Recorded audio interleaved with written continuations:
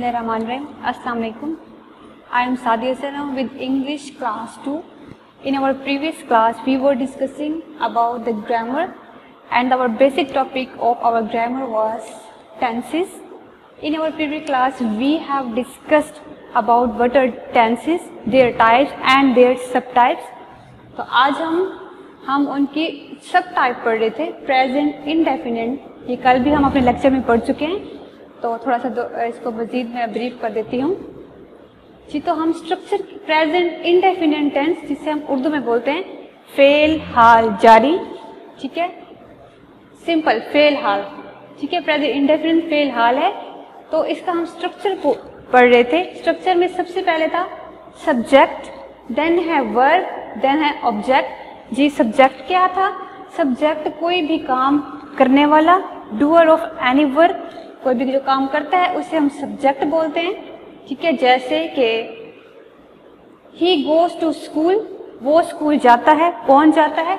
या Ali goes to school तो Ali is the subject here ठीक है? देन है वर्ब वर्ब होता है कोई भी काम। जैसे खाना, पीना, उठना, बैठना, आना, जाना, कोई भी है, काम जो है, वो हमारा कोई भी वर्क है, उसे हम वर्ब बोलते हैं। देन हमने डिस्कस किया था ऑब्जेक्ट वर्ट इज़ ऑब्जेक्ट जिस पर काम किया गया हो for example she is writing on the paper ठीक है? तो इसमें जो शी है, वो हमारा सब्जेक्ट है, काम करने वाला। कौन कौन she is writing on the paper paper पे राइट कौन कर रहा है? वो हमारा सब्जेक्ट है। देन है राइटिंग राइटिंग होता है काम। कोई काम हो रहा है ना? लिखने का काम हो रहा है। Then it is verb then on the paper किस पर काम हो रहा है? पेपर पे काम हो रहा है राइटिंग का? तो वो हमारा ऑब्जेक्ट है। किसी और, हम एग्ज़ाम्पल से भी समझते हैं। जो he he goes to school then subject हो गया हमारा ही गोज जाना जाना एक काम है तो वो हमारा हो गया वर्ब देन है school school is your object ठीक है? Then they are playing with ball अब सब्जेक्ट हो गया आपका। दे और प्लेइंग है खेलना। ठीक है, ये हमारे खेलने का काम है। It is work and then है विद बाल बाल किस चीज़ से काम हो रहा है? बाल से हो एंड बाल इज़ योर ऑब्जेक्ट जी, एक और चीज़ इसमें मैंने लिखी है। They are playing with ball तो इसमें आर क्या है? आर को हमने लिखा हुआ है तो आर है क्या? कि जो आर है, ये इसे हम बोलते हैं हेल्पिंग वर्ब एक तो वर्ब है मेन वर्ब एक्शन वर्ब है देन है हेल्पिंग वर्ब आर जो है, वो हेल्पिंग वर्ब बोलते हैं, जैसे she is writing on the paper she में सब्जेक्ट हो गया राइटिंग हमारा वर्ब हो गया पेपर हमारा ऑब्जेक्ट हो गया, ये इज़ फिर क्या है? ये जो यहाँ इज़ है हमारा, ये इज़ भी हेल्पिंग वर्ब है, ठीक है, ये हमारा सेंटेंस एलाबरेट हो गया, बाकी ये जो ऑन और द है, ये आर्टिकल है ऑन जो है प्रपोजिशन है, ठीक है we will discussed in our next lectures, okay? On को भी पढ़ेंगे, हम दा को भी पढ़ेंगे आर्टिकल्स को भी पढ़ेंगे, और प्रपोजिशन को भी पढ़ेंगे। तो आपको अब किस चीज़ का पता चल गया है? किसी भी सेंटेंस में सब्जेक्ट का पता चल गया, आपको ऑब्जेक्ट का पता चल गया वर्ब का भी पता चल गया, और ये हेल्पिंग वर्ब होते हैं। In case of present tense present tense में हेल्पिंग वर्ब कौन कौन से यूज़ होते हैं? Is am are do does has have ये आप नोट कर लेंगे सारे जो हैं हेल्पिंग वर्ब हैं प्रेजेंट टेंस के पास्ट टेंस के भी होंगे हेल्पिंग वर्ब वो और हैं। हेल्पिंग वर्ब बेसिकली चेंज होते रहते हैं time to time tense to tense okay तो ये जो है प्रेजेंट टेंस के हेल्पिंग वर्ब है is am are do does has have ये आपने इसको माइंड में रखना है, क्योंकि नेक्स्ट आपके इस, इन्होंने यूज़ होना है। ठीक है? स्ट्रक्चर हो गया हमारा। देन है हमारे फिर सेंटेंसेस प्रेजेंट इनडेफिनेट टेंस में नेक्स्ट फर्दर सेंटेंसेस हैं. पहले हमने पढ़ा था टेंसेस टेंसेस क्या थे?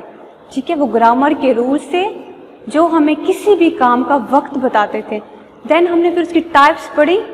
टाइप्स थी three present tense past tense future tense then हमने फिर उसकी फर्दर टाइप्स पढ़ी थी. किसकी?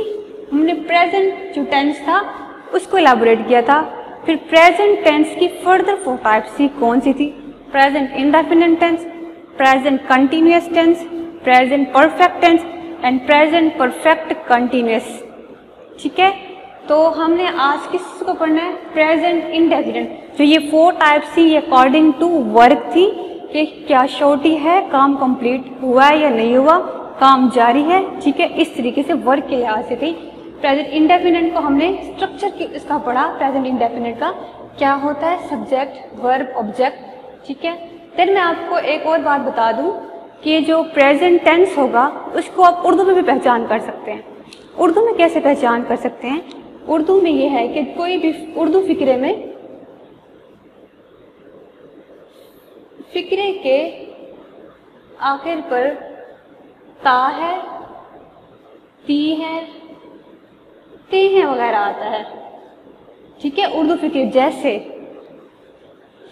वो स्कूल जाता है, वो खाना खाती है, वो सबक याद करते हैं, हम सैर को जाते हैं। ठीक है तो ता है, ती है, ते है, से भी आप पहचान कर सकते हैं। ठीक है, हमने प्रेजेंट इंडेफिनेट का स्ट्रक्चर पढ़ा। देन है सेंटेंसेस प्रेजेंट इंडेफिनेट में भी फर्दर फिर उसकी टाइप्स सब टाइप्स आप पढ़ लें। या समझ लें, या उसके सेंटेंसेस कैसे स्ट्रक्चर होते हैं। कितने टाइप के सेंटेंसेस होते हैं? उसमें अफर्मेटिव सेंटेंसेस होते हैं नेगेटिव होते हैं इंट्रोगेटिव होते हैं डबल इंट्रोगेटिव होते हैं। अफर्मेटिव सेंटेंसेस कौन से होते हैं? वो हम पढ़ते हैं। देन नेगेटिव आपको पता है, जो ना की सेंस में हो, वो होते हैं। इंट्रोगेटिव सवालिया फिक्रे बोलते हैं, ठीक है? देन है डबल इंट्रोगेटिव डबल इंट्रोगेटिव क्या होता है? वो भी हम आगे डिस्कस करेंगे। जी, हम आते हैं अफर्मेटिव की तरफ़। अफर्मेटिव के स्ट्रक्चर की तरफ़ सबसे पहले आते हैं। सब्जेक्ट इसमें यूज़ होगा वर्ब यूज़ होगा और ऑब्जेक्ट यूज़ होगा। क्या चीज़ें यूज़ होंगी? अफर्मेटिव सेंटेंसेस में in case of affirmative we use subject verb and object just like this sentence subject आ गया वर्ब आ गया एंड ऑब्जेक्ट आ गया। तो आप बताएँ कि इसमें मिसिंग क्या है? ऐसी क्या चीज़ है जो मिसिंग है? इसकी तरफ़ देख लें। यहाँ भी सब्जेक्ट है, यहाँ आपका ये वर्ब है और ये आपका ऑब्जेक्ट है। इसमें एडिशनल चीज़ क्या थी? इस टेंस में एडिशनल चीज़ जो है हेल्पिंग वर्ब है। आर इज़ जो helping verb is am are do does has have जी तो इंग्लिश में डोनेशन के लिए जो भी प्रेजेंट इंडेफिनेट के अफर्मेटिव सेंटेंसेस होंगे, उनमें हेल्पिंग वर्ब हमेशा से एबसेंट होता है। हेल्पिंग वर्ब कभी भी यूज़ नहीं होता तो स्ट्रक्चर में पहले सब्जेक्ट आएगा देन वर्ब आएगा object and helping verb is absent जैसे, वो खाना खाता है ही ईट्स फ़ूड ही तो आ गया हमारा सब्जेक्ट ठीक है? देन है ईट्स ईट्स तो एक वर्क हो गया, किस चीज़ का वर्क खाने का वर्क फ़ूड क्या है? हमारा ऑब्जेक्ट है, किसको खाया जा रहा है? फ़ूड को खाया जा रहा है. तो क्या चीज़ मिसिंग हो गई? इसमें इसमें हमारा हेल्पिंग वर्ब मिस हो गया। जैसे हम लिखें कि जितने भी आपके अफर्मेटिव सेंटेंसेस होंगे, जैसे वो खाता है, पीता है, जाता है, आता है, लेता है, देता है, उसमें हेल्पिंग वर्ब एबसेंट होगा जैसे हम कहें कि वो खा रहा है ही इज़ ईटिंग इज़ आ गया। इस, इसका मतलब है कि ये अफर्मेटिव सेंटेंस नहीं है, क्योंकि इसमें इज़ आ गया है। इज़ तो हमारा हेल्पिंग वर्ब है। लेकिन जो अफर्मेटिव मैम ने पढ़ाए थे, उनमें तो उनके स्ट्रक्चर में शामिल था कि वहाँ हेल्पिंग वर्ब हमेशा ही एबसेंट होगा। जी, दूसरा ये मैंने लगाया he eats food he eat food मैंने क्यों नहीं लगाया? तो इसको भी मैं आपको बताती हूँ कि हमने ईट्स क्यों लगाया ईट क्यों नहीं लगाया? क्योंकि जब भी कोई किसी थर्ड पर्सन की बात हो रही हो थर्ड पर्सन क्या है? मैं थर्ड पर्सन हूँ। नहीं, मैं थर्ड पर्सन नहीं हूँ। आप थर्ड पर्सन है, मैं आपसे बात कर रही हूँ। नहीं, आप भी थर्ड पर्सन नहीं है।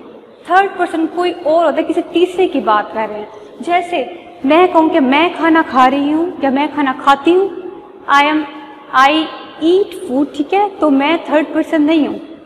आप खाना खाते हैं यू ईट फ़ूड आप भी थर्ड पर्सन नहीं है। मैं किसी और की बात कर रही हूँ कि वो खाना खाता है। वो थर्ड पर्सन हो गया ना। जब भी हम किसी थर्ड पर्सन की बात करें और वो थर्ड पर्सन सिंगुलर हो, अकेला बंदा हो, जैसे ही है, कि सिंगुलर है तो हम इसके साथ, इसके जो है एस या इसकी जो वर्ब है, उसके साथ एस या ई एस का इजाफा करते हैं। थर्ड पर्सन हो और थर्ड पर्सन सिंगुलर हो तो उसमें हम एस या ई एस का इजाफा करते हैं। अब जैसे Ali and Ahmed eat food Ali और अहमद भी थर्ड पर्सन है। कौन है अली, कौन अहमद? हमें नहीं पता। ऐसे बात कर रहे हैं हम लोग। आपको नहीं पता, मुझे नहीं पता। अली एंड अहमद भी थर्ड पर्सन है। उसके साथ हमने यहाँ ईट्स क्यों नहीं लगाया? वहाँ हमने ईट लगाया हुआ है। इस वजह से ईट लगाया क्योंकि थर्ड पर्सन तो हैं, लेकिन वो सिंगुलर नहीं है। एक शख्स नहीं है। अली और अहमद दो लोग हैं। तो जब भी किसी दो लोग की बात होगी और वो थर्ड पर्सन भी बेशक हों, तब हम ऐसे इसका इजाफा नहीं करते। लेकिन अगर सिंगुलर हो और थर्ड पर्सन भी हो तब तब हम उसके साथ क्या लगाते हैं? एस या एस का इजाफा करते हैं। ठीक हो क्या जी, वो हमने पढ़े थे अफर्मेटिव सेंटेंसेस क्या पहचान थी? अफर्मेटिव सेंटेंसेस में कि ये पहचान है कि उनमें हेल्पिंग वर्ब एबसेंट होता है। ठीक है हेल्पिंग वर्ब होते कौन कौन से हैं? प्रेजेंट के हेल्पिंग वर्ब प्रेजेंट के हेल्पिंग वर्ब क्या क्या होते हैं? Is am are has have do and does जी, अब हम आते हैं नेगेटिव की तरफ़। नेगेटिव सेंटेंसेस क्या होते हैं? नेगेटिव सेंटेंसेस वो होते हैं जिसमें ना का इशारा हो, नफ़ी का इशारा हो, ना होने वाला हो नेगेटिविटी हो पॉजिटिविटी ना हो। ठीक है? जैसे हम पढ़ते हैं कि मैं आपको पढ़ाती हूँ। ठीक है? मैं आपको नहीं पढ़ाती। आप स्कूल जाते हैं, आप स्कूल नहीं जाते। आप खाना खाते हैं, आप खाना नहीं खाते। इस किस्म के जो सेंटेंसेस होते हैं वो होते हैं नेगेटिव सेंटेंसेस उनका स्ट्रक्चर अब क्या होता है? उसकी तरफ़ आते हैं। उसमें भी सबसे पहले क्या आएगा? सब्जेक्ट भाई सब्जेक्ट क्या सब्जेक्ट सब्जेक्ट कोई भी आपका नाउन हो सकता है प्रोनाउन हो सकता है। प्रीवियस क्लास में हम लोग ने डिस्कस किया था नाउन और प्रोनाउन नाउन क्या? कोई भी नेम हो सकता है। प्रोनाउन क्या? The name which is use in place of noun he she it जो भी है, ठीक है? वो हो सकते हैं। देन है आपका जो नेगेटिव है नेगेटिव शुरुआत हो गई अब हेल्पिंग वर्ब यूज़ होने की। टेंसेस में हमेशा जो हेल्पिंग वर्ब की शुरुआत होती है यूज़ करने की, वो नेगेटिव सेंटेंसेस से ही होती है। देन इसके स्ट्रक्चर में क्या आएगा? हेल्पिंग वर्ब यूज़ होंगे। और आपको पता है, ये सारी सीरीज़ है प्रेजेंट टेंस के हेल्पिंग वर्ब्स की। इज़ है am are do does has and have ये सारे यूज़ होते हैं। नेक्स्ट हम इन सबको यूज़ करेंगे। इसमें से एक भी नहीं बचेगा जिसका यूज़ ना हो। तो in case of negative sentences कौन से हेल्पिंग वर्ब यूज़ होंगे? प्रेजेंट का नेगेटिव सेंटेंस करते वक्त हमारे जो होंगे do and does do and does हमारे हेल्पिंग वर्ब हैं, वो यूज़ होंगे। कैसे यूज़ होंगे, वो हम अभी करके दिखाते हैं। स्ट्रक्चर में पहले सब्जेक्ट था देन हेल्पिंग वर्ब कौन सा हेल्पिंग वर्ब है? डू एंड डज देन हमारा है नॉट नेगेटिव सेंटेंस है तो we have to use not okay then है हमारा वैसे का वैसा ऑब्जेक्ट जो हमने पहले भी यूज़ किया था, अब भी यूज़ कर रहे हैं। ऑब्जेक्ट क्या है? जिस पर काम हो रहा हो, ठीक है? जी हेल्पिंग वर्ब की बात हुई थी कि प्रेजेंट के नेगेटिव में डू या डज हेल्पिंग वर्ब यूज़ होते हैं। अब ये बात है कि डू किसके साथ यूज़ होना है और डज किसके साथ यूज़ होना है। तो आप ये देख लें जितने भी प्लूरल हैं, क्या प्लूरल ज़्यादा लोगों को हम प्लूरल बोलते हैं। एक से ज़्यादा सिंगुलर सिंगल चीज़ होती है। प्लूरल क्या होते हैं? दो चीज़ें। मीन्स एक से ज़्यादा।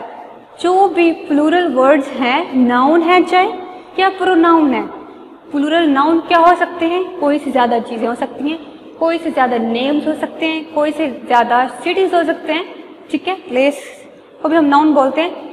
तो वो प्लूरल होगी और सिंगुलर क्या होगी? एक शख्स की बात होगी, एक की बात होगी। उसके साथ हम क्या लगाएँगे? प्लूरल्स के साथ हम लोग लगाएँगे डू जैसे वी है वी हम। उसके साथ वी डू नॉट लगाएँगे। वी डज नॉट कभी भी नहीं आएगा, ठीक है? वी डू नॉट और एक बात ये हो गई यू की। यू हम सिंगुलर भी ए यूज़ करते हैं और प्लूरल भी यूज़ करते हैं। कैसे यूज़ करते हैं? जब मैं यू एक बंदे के बाद, बारे में बात करूँ कि यू आर इंटेलिजेंट तो वो सिंगुलर के तौर पे यूज़ होगा। जब मैं यूज़ करूँगी कि यू आर ऑल इंटेलिजेंट आप सब सही हैं तो यू मैंने यूज़ किया, लेकिन मैंने ज़्यादा लोगों के लिए यूज़ किया। तब जो है यू की डुअल नेचर होती है। एज अ सिंगुलर भी यूज़ होता है एंड एज अ प्लूरल भी यूज़ होता है। तो जो यू की है डुअल नेचर है तो यू के साथ भी हम, जब प्लूरल होगा तो हम क्या यूज़ करेंगे? टू का you do not you does not नहीं आ सकता यू डू नॉट होगा ठीक है? देन दे है दे भी बहुत सारे लोगों के लिए यूज़ करते हैं हम लोग। दे और और दे ज़्यादा के लिए यूज़ होता है। तो दे के साथ भी डू लगेगा दे डज नॉट नहीं आ सकता दे डू नॉट आएगा। जी, अब जो डज है डज जितने भी कोई सिंगल नेम है, ठीक है? और जितने भी सिंगुलर हैं, उसके साथ डज आएगा। कौन से? He does not she does not it does not जो है ही शी और इट के साथ हमारा क्या आएगा? डज आएगा। अली है, एक नेम है। अली डज नॉट आएगा। आलिया सिंगल नेम है। आलिया के साथ भी डज आएगा। अगर हाँ अली एंड आलिया करेंगे देन आपका डू आएगा। ठीक है? Ali and Aliya do not play cricket Ali and और आलिया क्रिकेट नहीं खेलते। हम लिखेंगे, अली क्रिकेट नहीं खेलता। Ali does not play cricket Aliya does not play cricket लेकिन जब हम लिखेंगे कि अली एंड आलिया कंबाइन कर लेंगे तो ये क्या बन जाएगा? ये आपका प्लूरल बन जाएगा कंपाउंड बन जाएगा। उसके साथ हम क्या लगाएँगे? डू नॉट यूज़ करेंगे डज नॉट यूज़ नहीं करेंगे। तो he does not she does not it does not जी, बाकी रह क्या जाता है? आई आई रह जाता है। आई के साथ क्या करते हैं? हमारा बाकी बच आई के साथ क्या लगना चाहिए? आप बोलें कि, मैम, आई तो सिंगुलर है। तो आपने बताया कि जो सिंगुलर है, उसके साथ डज लगाते हैं। जी, डज लगाते हैं। लेकिन आई एक एक्सेप्शनल केस है। इकलौता आई है जो कि एक्सेप्शनल केस है। उसके साथ हम कभी भी जो सिंगुलर का है, वो यूज़ नहीं कर सकते। ये एक एक्सेप्शन में आ जाता है। जो है, एक एक्सेप्शन में आ जाता है। आई के साथ हम हमेशा डू लगाते हैं। जो भी प्लूरल हेल्पिंग वर्ब्स होते हैं आई के साथ वो लगते हैं। प्लूरल के साथ जो हेल्पिंग वर्ब लगते हैं आई के साथ भी वो लगते हैं, ठीक है? जैसे हम हैज़ की बात करें तो हैज़ सिंगुलर है तो आई हैज़ नॉट नहीं लगेगा। हैव आएगा, आगे चल के आपको पढ़ाऊँगी भी सी। आई हैव नॉट आएगा। क्यों? क्यों आएगा? ये ग्रामर कहती है। अकॉर्डिंग ये एक्सेप्शन है अकॉर्डिंग टू ग्रामर आई के साथ जो है, वो सिंगुलर नहीं आ सकता प्लूरल आएगा। जी तो उसके बाद हम स्ट्रक्चर में था हेल्पिंग वर्ड वो मैंने एक्सप्लेन कर दिया देने नॉट एंड ऑब्जेक्ट नॉट कहाँ लगता है? हेल्पिंग वर्ब के बाद। ये सीरीज़ है, इस सीरीज़ के थ्रू ही आप कर सकते हैं। ठीक है देन है ऑब्जेक्ट जैसे वो खाना नहीं खाता है। हमने पहले पढ़ा था, वो खाना खाता है। ही ईट्स फ़ूड अब नेगेटिव बनाना है वो खाना नहीं खाता है। देन क्या यूज़ करना है? वहाँ हमने सब्जेक्ट ऑब्जेक्ट जी वेरीफाई कर लेते हैं। जी, मैंने बताया था कि स्ट्रक्चर में आपने सबसे पहले सब्जेक्ट लगाना है तो सब्जेक्ट आ गया। देन हमने वर्ब लगाना है तो ये वर्ब आ गया। देन हमने ऑब्जेक्ट लगाना है तो ये फ़ूड इज़ योर ऑब्जेक्ट ये ऑब्जेक्ट आ गया। जी तो ये है अफर्मेटिव का सेंटेंस हेल्पिंग वर्ब मैम ने बोला था कि एबसेंट है। जी तो हेल्पिंग वर्ब है यहाँ? नहीं है? तो इट इज़ एबसेंट तो एबसेंट रहेगा। देन इसके स्ट्रक्चर के मुताबिक हम इसको वेरीफाई करते हैं। वो खाना नहीं खाता है he is not eat food अब हमने यहाँ ईट्स नहीं लगाया। क्यों नहीं लगाया? जी तो इसके साथ हमने एस एस या का इजाफा कर दिया है। तो हम यहाँ ईट्स नहीं लगाएँगे। माइंड यहाँ हम ईट लगाएँगे। तो अब हम इसको भी वेरीफाई करते हैं। अकॉर्डिंग टू स्ट्रक्चर सबसे पहले सब्जेक्ट आना चाहिए था। जी he is your subject then helping verb आना चाहिए था।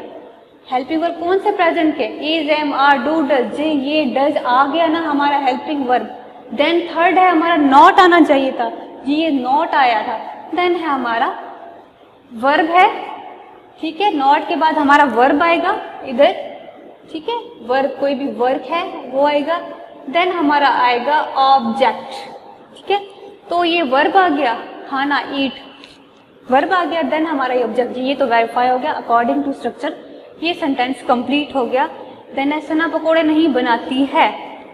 Sana does not cook fritters Sana पकोड़े नहीं बनाती है, वही सब्जेक्ट आपका आ गया. डज नॉट आ गया वर्ब आ गया, और ये ऑब्जेक्ट जी तो हमने आज क्या पढ़ा था? हमने ग्रामर में जो है, हमने टेंसेस पढ़ रहे थे टेंसेस क्या होते हैं? ग्रामर के रूल्स होते हैं जो हमें टाइम या किसी काम के टाइम के बारे में बताते हैं। क्या बताते हैं? टाइम और वर्क के बारे में।